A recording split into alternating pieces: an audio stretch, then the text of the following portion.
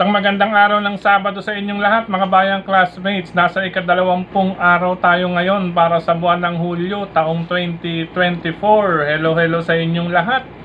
At hari naway mga nasa mabubuti kayong kalagayan at kalusugan sa mga sandaling ito para sa ating gagawing paglilibang sa mga pakarerang nabuo sa atin. Ano po, naihanda at nabuo sa atin ng MMTCI at, at Philippine Racing Commission ng Decavers na magsisimula sa ganap na alas 3 ng hapon. Ayan. Pasensya na, medyo late ano, alas 10 dahil may mga ginawa pa tayo at muli natin binalikan ng ating ah, review, pagre-review mga bayang classmates. Ano po, dahil karamihan ng karera medyo balikatan at higit sa lahat palaisipan kaya makibalita at talasan ng inyong pakiramdam. Ano po mga bayang classmates. Anyway, bago tayo magpatuloy, nais ko munang i-welcome at pasalamatan ng ating mga bagong classmates, mga bagong subscribers dito sa ating channel. Welcome po at maraming salamat sa inyong pag-subscribe at hari nawa. Lagi sana kayong tumutok at tumangkilik upang sa gayon ay meron kayong giya at gabay na mapapagbasihan at magagamit sa tuwing araw ng paglilibang. Ang aking giya po Base po ito sa aking sariling pagre-revisa, mga bayang classmates, mula sa kanilang mga previous performances, mga nakalaban, muling sinilip sa replay kung kinakailangan. Siyempre, kabilang dyan ang mga time record na naitala or track records nila. Ah, huling dalawa, huling apat na takbo, mga bayang classmates. At siyempre, ang pagbabaybay natin per race. Ano po ah, per race po ah, senaryo bawat takbuhan. Siyempre, batid naman po natin mga karerista na kapag oras na nasimula ng alam nyo na ng hindi kagandahan ay nadadamay na po ang mga kasunod. Ganyan po ang magiging lineup natin ngayon. Kaya alalay, ingat lamang po mga bayang classmates. Muli, welcome at maraming salamat sa inyong pag-subscribe. Oh, ha? Umpisahan na natin ang ating mga giya. Race number 1, ano po ah, walong karera po ito mga bayang classmates. Kapag walong karera, dalawang sets po ang pick 5, race 1 and race number 4. Ang winner take all magsisimula sa race number 2. Race number 1 para sa unang set nga po ng pick 5 event covers races 1 to 5. Sa karerang ito, parang dulong grupo na ito ng rating base mga bayang classmates. Ah, class 5, group 5, non-placers. Ano po, hari nawa. Ah, makauwi po ang mga kalahok dito, aanim na kalahok, makatapos po ng maayos pagsapit ng meta. Anyway, ang aking pamilyan dito, number 4, Brainchild with MR Elios. Mukhang magandang break ito para kay Apprentice MR Elios. Pangalawang pamilyan ko, number 6, Little Miss Saturday with Claro Saulog Pare Jr. Ayan, maganda numero ni Little Miss Saturday. Ah, dalang hinay-hinay lang yan, mga bayang classmates. Kumbaga, ang gusto ni Little Miss Saturday ay laro-laro lang. Ayan po. Anyway, ulitin ko po. Race number 1, number 4, Brainchild. Number 6, Little Miss Saturday. Magdagdag na lamang po mga bayang classmates. Yung ibang natitira, pawang matitibay naman po pagdating sa mga nakasakay. Opo. Yan po. Good luck. Karera numero 1. Race number 2 para sa winner take all covers races 2 to 6. Mga bayang, ay 2 to 6. 2 to 8 mga bayang classmates.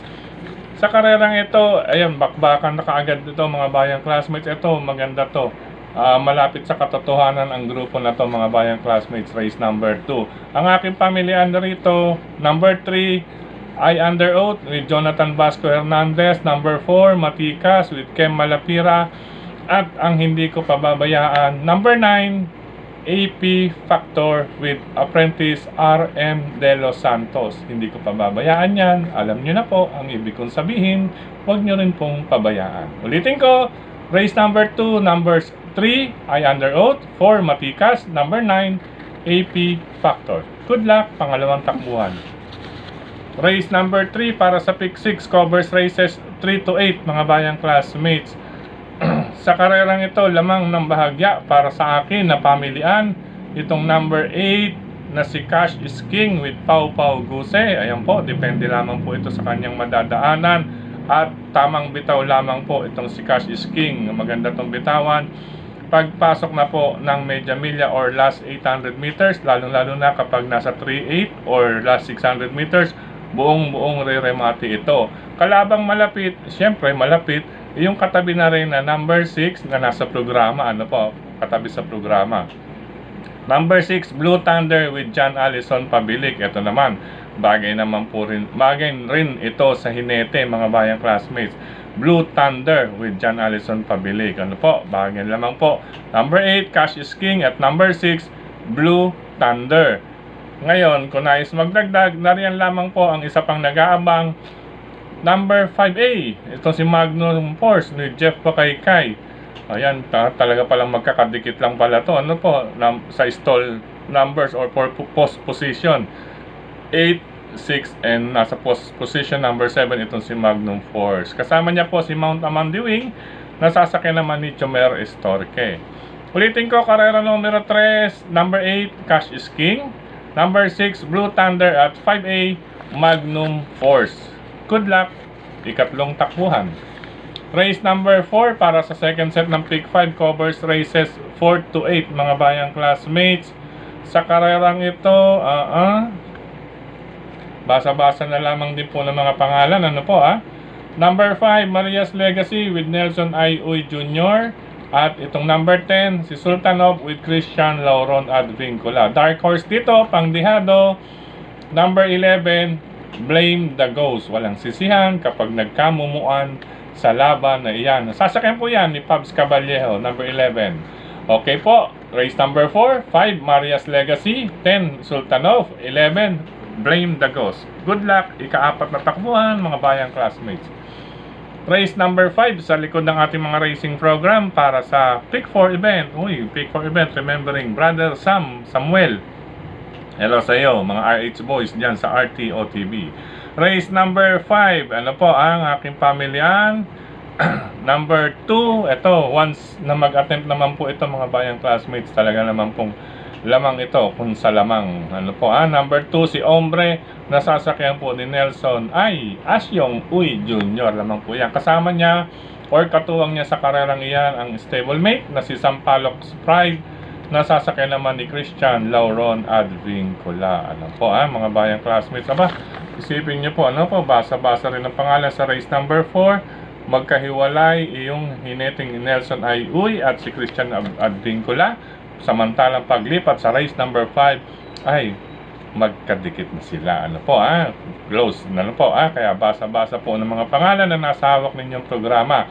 Kalaban ni Ombre rito, if ever hindi man po mabigyan ng magandang go signal, ay ito pong number 3 na si Mr. Dynamic ni MR Elios. Aba, mabibigyan ng break si MR Elios ng premyo. Hari nawa, primera premyo eh, kay MR Elios. Ano po, may race 1 na, may race 5 pa.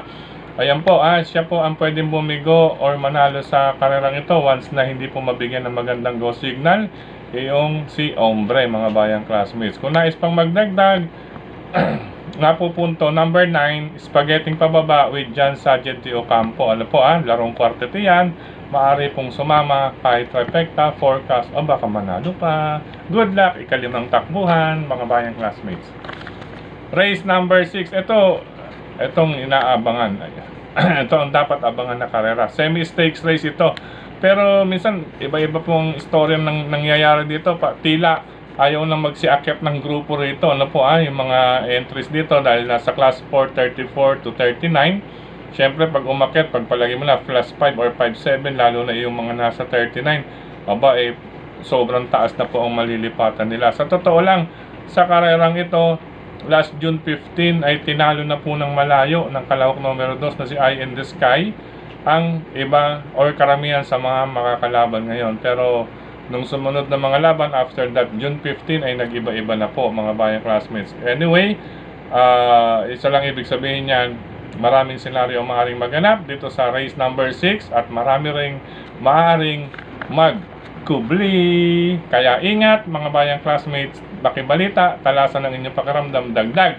Bukod sa akin choices. Okay, choices. Couple number 3, Easy Way, Isaac Ace Lara Aguila, kasama si Saratoga Chrome with Jonathan Vasco Hernandez.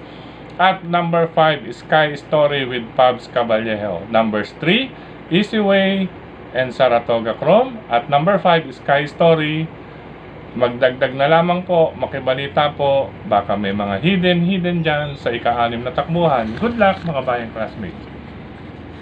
Race number 7. Penultimate race tayo mga bayang classmates. Ito, pwedeng paninggil ito kung tutusin. Ano po ah, Chocolate Thunder with Bird, Jomel Galleta.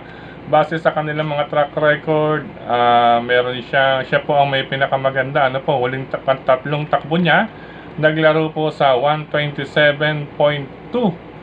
Ayan po at ang second o pangalawa sa huli, pangatlo sa huli 27 point, 127.8, 127.8 pero ang pinakahuli 127.2 compared to others ah 128 point something na po ibig sabihin 1 second mahina po ang dalawang length 2 lengths mga bayang classmates pwedeng pasing paningil ito number 7 chocolate thunder with Jomer Ber Jomel Galleta. Kung nais magdagdag, nariyan lamang po. Number 2, Sham Campaign with Jeff Barbosa Bakaykay. At ang number 4, Grand Jackpot. Ito po, ah, hindi lang natin alam. Baka magpababa na rin po ito ng grupo. Pero once na sumalikot ito, may chamba rin po ito. Grand Jackpot with John Pamboy Ponce. 7, 2, and 4. Ika-7, ika-pitong takbuhan mga bayang classmates. Race number 8, last and final race ngayong araw ng Saturday na paglilibang natin mga bayang classmates. Wait lang po, may phone in question. Actually, hindi phone in question, phone in message. Anyway, last and final race. Dito lamang kung sa lamang itong dalawa. Number 3, Mami Karing with Berjomel Galleta. Ayan po, ah, Galleta Galleta pala to. Ano po, ah? La, last double, Galleta Galleta. Plural, galletas. Wow, very sweet. Anyway, mga bayang classmates, number 3, Karing Melody at Mano po, number 2 with Arnold Apoy Asuncion. Ayan. Ang tanging problema lamang dito, once na magkainitan ito sa harapan, ano po, minsan kasi si Mami Karing, lumalarga po kaagad ng matulin yan. Itong si Mano po, alam naman po natin, sa kanyang post position, bandirista po ito. At tingin ko, hindi papatalo ito lahat ng kanto o lahat ng kurba na kay Mano po with Arnold Apoy Asuncion. Ngayon kung magkalakasan, makikinabang ang number 9 na si I Tell You with Mark Alvarez. Yan po, depende po sa senaryo. Si number 3, Mami Karing, kapag pumatol lang maaga kay number 2, Mano po, number 9 darating sa last and final race. Good luck mga bayang classmates. Sa pagkakataong ito, muli maraming maraming salamat sa inyong pagtutok, pagtangkilik, pagsubaybay. Higit sa lahat po ang pagtitiwala. Pasensya na po, medyo nahuli na po na talaga tayo. Ang oras ay 10.20. Ayan, 10.20. Ano po, alas 3 po ang umpisa natin. Anyway, habol-habol na lamang po. At may mga ginawa pa tayo. After neto, meron pa tayong mga lalakarin, lalo na po bukas, kaya aagapan ko rin po kaagad na makabalik para magawa kaagad ang ating Sunday Racing Guide. Ano po? Anyway, maraming salamat pa rin palagi sa ating regular supporter Sir Dennis Gonzalez, Brother Rasen Padilla, Brother Daniel Luben, kilatis programa sa Bayang Karerista, at syempre, ah, mula yan sa JB Go and Publishing House. Supportan po natin. Sa mga usaping printing, nandiyan po, kontakin niyo po ang JB Go and Publishing House ni Sir Jess Go at ni Ma'am Marlene. Ah, nasa D. Aquino Street yan, lungsod ng Caloocan, pagitan ng 3rd and 4th Avenues, mga bayang classmates. Maraming salamat din kay Tokayong Frederick Abil sa pagbabahagi nitong ating giya sa kanyang mga grupo ng karetista sa social media. Hindi lamang po ito, pati na po sa iba nating kapwa or fellow vloggers, binabahagi niya rin po sa kanyang group Tipsy Race and Review. Nga po, pangabayang classmates, supportan din po natin ang ating mga kapwa ah, vloggers, ano po, nagbabahagi ng kanilang giya dito sa industriya ng karera. At least, yung iba po, kinocompile yan, pinagsasama-sama, pagdating sa dulo, kayo pa rin po ang masusunod, mga bayang classmates. Ano po, yan po ay giya lamang naming mga nagbabahagi sa inyo. Hindi po hula hoop ito, mga bayang classmates. Ano po, may pagre-revisa rin po itong ah ginagawa. Ano po. Anyway, ah singit ko lamang po. Siya nga po pala yung ating panawagan or nagpanawagan lang kahapon ay nag ah, tawag dito. Ano ba tawag doon? Nag-reply. Tumugon. Ayan, ah, tumugon na po na mag ah, itutuloy niya po ang kanyang paghulog or pagbayad ano po para kay OTB Teller Jimmy dyan sa RTO TV. Ano po, anyway, antayin na lamang po natin yan mga bayang classmates. At aasahan natin yan mula syempre sa ating kapatid sa industriya ng karera, si ah, Brother Jordan Mateo, also known as Dakilang Pantot. Ah, inaasahan namin yan. Inaasahan lalo na kay Jimmy. Kailangan na kailangan niya ni OTB Teller Jimmy kasi yung inabono niya ay tawag dito naipanghiram niya pa iyon. Ano? Ibig sabihin, other than that, tumubo, eh, nangangailangan din yung tao para sa kanyang tatay at sa kanyang mga kaanak doon sa Ilocos. Ayan. Anyway, hintayin na lamang po natin. Hintayin na lamang po namin yan, Brother Adrian, ay Brother Jordan. Ah, aantayin na lamang namin ang iyong pagpapadala. Okay po. Maraming maraming salamat. God bless you always. Ano po, ingat din palagi. Ah, gayon din maraming maraming salamat sa grupo ng mga karerista sa social media, sa lahat ng admins at members. Maraming maraming salamat po sa inyo, sa mga nagla-like, nag-heart, nag-share at mga bumabati. At syempre dito na rin po sa ating channel, YT channel mismo. Ano po, sa mga bumati po last kahapon, Friday and Wednesday. Ah, hello po kay Ma'am Ve- Verano Muhammad or Sir, uh, anyway, Verano Muhammad. Hello po sa inyo, Happy Racing, maraming salamat. Ganyan din na Sir JJ Ilaw, Julio Bayombong, Art Buen, Art Buen, yan, Sir Davis Balmores, ganyan din kay Brother Lito and Sister Cha Ortega, kay Brother Gilbert Mapili, yan po. Ah, hindi po, ibang Chelsea na ito, ah, Brother Gilbert Magpili, ano po, hindi na po yan yung dating may mabilis yung Chelsea, may karugtong pa po yun, Chelsea Smile yata yun, hindi banderang matulin na sinasakay ni Mark Alvarez. Kaya din hello na happy racing pa sa mga sumusunod kay Conrado Manalansan. Ay, kay brother Yet Yet Manalansan. Siya nga po pala mga bayang classmates. Lalo na na dyan sa Kamay Nilaan. Ano po ah, sa Santa Cruz, Manila. ah, Laloma, malapit lang po. Ah, Yet Yet, Crispy, Pata, and Crispy Ulo. Ayan, order po kayo dyan. Sulit na sulit po yan mga bayang classmates. Hindi po yan basta-basta advertisement ano po ah And actually talagang kapatiran lamang po talagang sulit na sulit po ang inyong pag-order dyan yet yet ah, crispy pata at crispy ulo meron po yung FB page kontakin na lamang po ninyo mga bayang classmate talagang napakamura kung ikukumpara ninyo na sa iba ano po lutong bahay pati yan at talagang iba po ang pagka-marinade niyan mga bayang classmates Yet Yet Crispy Ulo and Crispy Pata by Con Sir Brother Conrado Yet Yet Manalansan. Ayan po. Hello and happy racing pa sa mga sumusunod. Sir Rogelio de la Cruz, ah, Oxin Dita. Hello sa inyo. Ayan, ah, shout out kay Greg. Yan, tumulak na po na sa New Zealand. Oxin, ano, Oxen and, and Dita. Yan.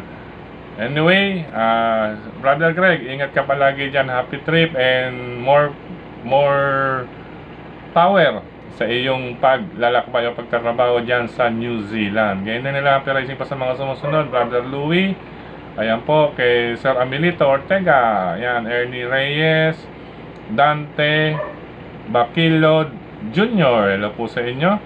Sir Ronald Del Malanta, ayan, belated happy birthday po. Ito, speaking of happy birthday, happy happy birthday or belated happy birthday po kay Sir Benhar Abalos Jr. Ayan po, happy, belated happy birthday Sir Benhar Abalos Jr. And more birthdays to come. Stay safe and healthy po. And more power po sa inyo, Sir Benhar Abalos Jr. Hello, racing pa rin kasi na Sir Arnold Benito Romulo Abugan. Brother Luis Rodrigo Gallegos, Rom Aha, Sir Benjamin Cabanya, Sir Dan Caballejo. Yan. Ah, sa ikaapat na distrito ng lungsod ng Quezon, siyempre Congressman Marvin Rillo. Ayan, supportahan po natin mabuti yan. Siyempre, pangmasa po talaga yan si Congressman Marvin Rillo. Diyan sa ikaapat na distrito ng lungsod Caloocan. Hello, na racing din kay Congressman Edward Maceda, kay Brother Ah, Edmond Maki Maceda, siyempre kay Brother Rainier, Maceda Stable, supportahan po natin yan mga bayang classmates at siyempre kay Sir JC De Los Reyes, ayan po, solid JC, yan, Valenzuelano siya, lagi pong lalaban at lalaban yan hanggat kaya ni Kabayo, Go lang yan mga bayang classmates. Congrats nga pala kay Donya Chichay kagabi.